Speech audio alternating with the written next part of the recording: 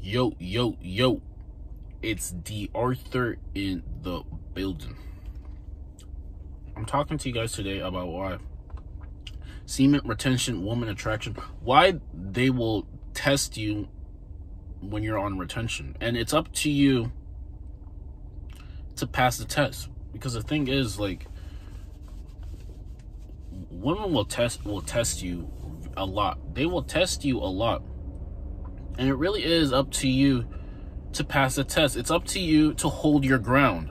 We have hold your ground laws. It's up to you to hold your ground because some as as crazy as this may seem, they will try to make it seem that you, you, they will always try to overlook everything that you are or everything that you're becoming. They will always try to overlook people actually people in general will always try to overlook. They'll they will never talk about things that we're actually doing.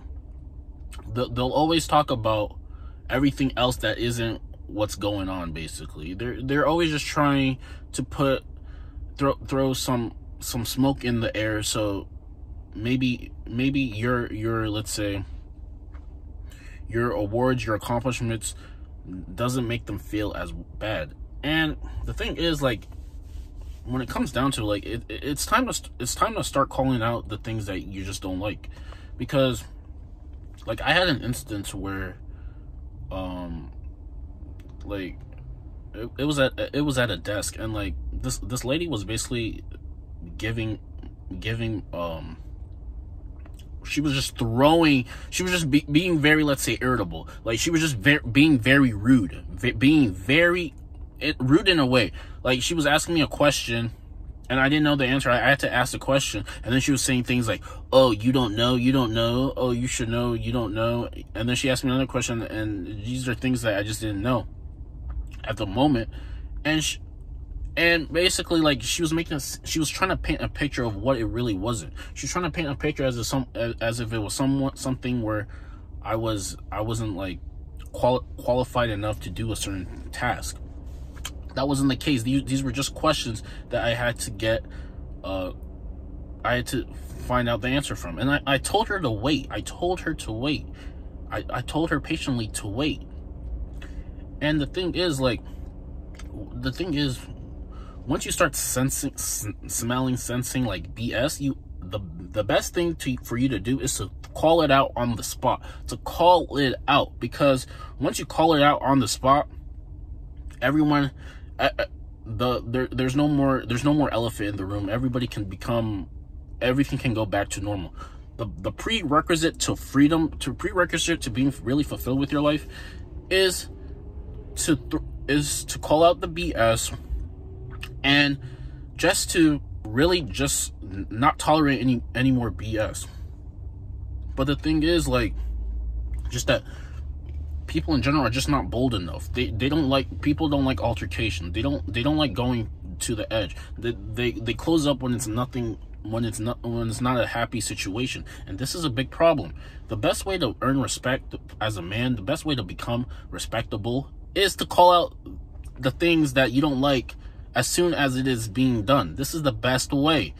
This is the best way. And this thing and like like because the thing is people are uh, men, men in general are like relapsing. So it's hard for them to really hold hold that urge to want to do that. They, they they like to be passive. They don't they think if they don't call things out then all things will go back to normal. And this is not the case. The the more the more you let it slide the worse the worse it's gonna get. The worse it's gonna get. The worse it's gonna get. So it's best for you it's best for all of us to call the things out that you don't like.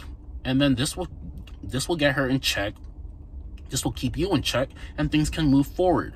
You have to reward the you have to reward the women who are have who have good behavior and call out the women who are not treating you as such. Because there, there's a lot of traffic that that goes through this desk at at at, at um at, at this building. And there's the thing is it's just that it seems like some people treat you a lot better than other people. And like I said, it's just best to treat, to call out the BS that other people are throwing. If, if they're not acting fair, you gotta call it out. If they're not being patient, call it out. If they think that you're, if you're, if they're, if they're making you feel less than what you are, you have to call it out.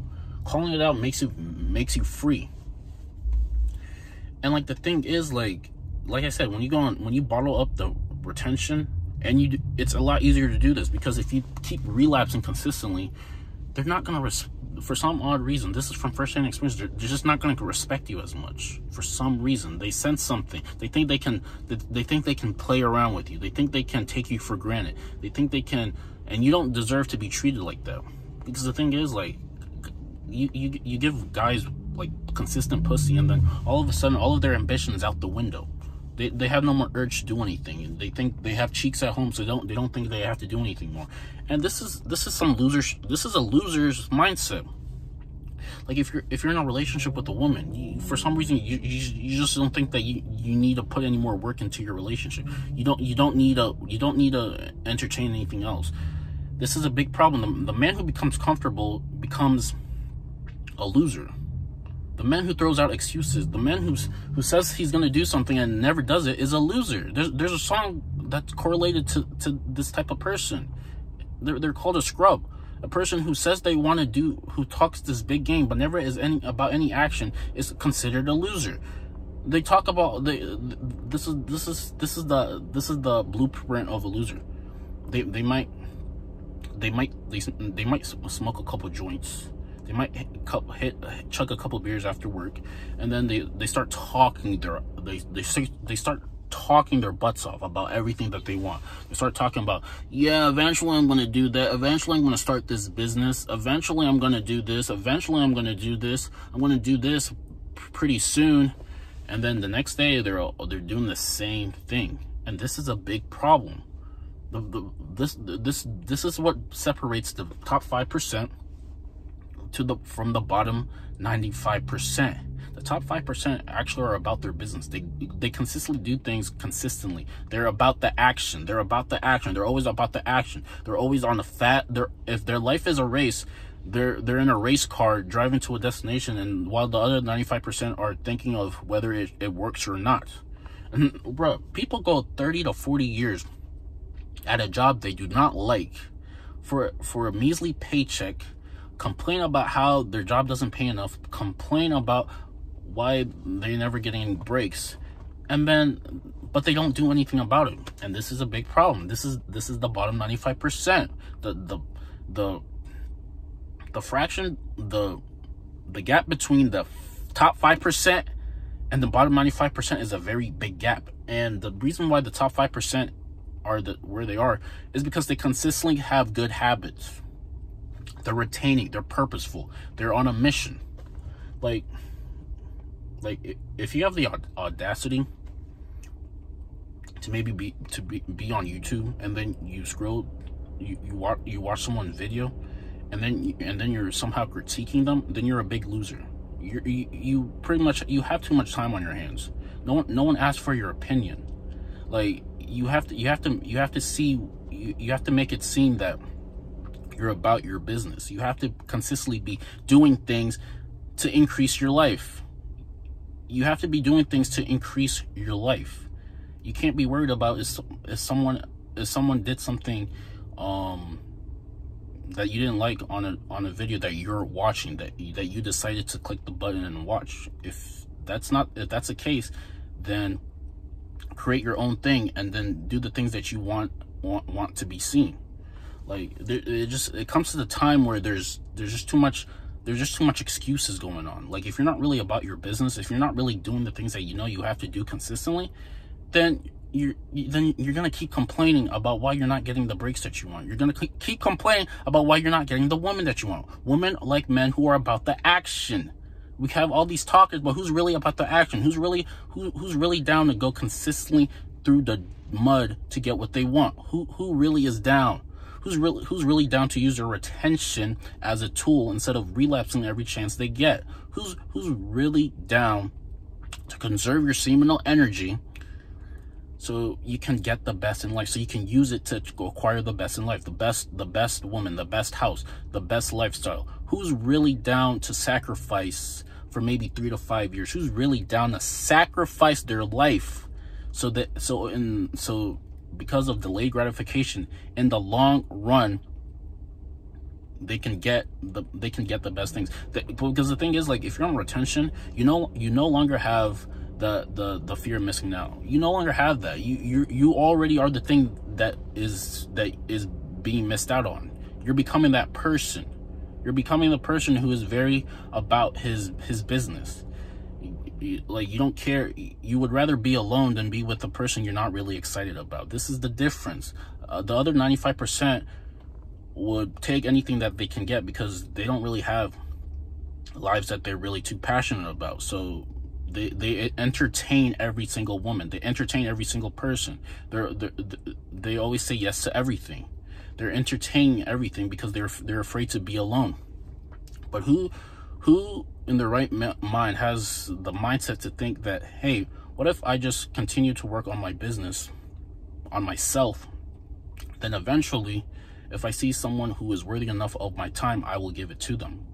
But they they but the 95% the the employee mindset mindset people, the nine to fires, the nine to fire habits, they think that being alone is bad and they have to get who, they have to get anybody who they want just because just so they won't be alone. I mean, this is the pill that has to be swallowed. This is the thing that nobody likes to talk about. Nobody likes to talk about any of this. It makes them uncomfortable. It makes them question themselves. They, people watch the news to distract themselves with the lack of meaning in their life. Nobody likes to talk about these things. Nobody likes to go deep into their subconscious and really find out what they're made of. Everybody likes to distract themselves. Everybody likes to be on booze every every every night. No one is nobody appreciates alone time. The person who appreciates a time alone is someone who can actually get somewhere because he knows that alone time is critical thinking time. He knows alone time is time where he can get ahead while other other people are partying other people are doing things that won't help them in the future the per, the the advancing man is critiquing himself to get better so he can get so he can have a lot in the long run but nobody wants to talk about this everybody wants to talk about nothing everybody wants to be corny everybody likes living corny lives i mean nobody likes to talk about any of these things but this is how a majority of people live their life. So, I mean, it's up to you to become the top 5% in your life. You have to be obsessed with whatever you're doing. You have to be obsessed. People don't think any people people throw shade. People downplay your success. People think that you're not going to go anywhere. It's up to you to work on yourself. It's up to you to prove them wrong. It's up to you to make something of yourself. This is the only way.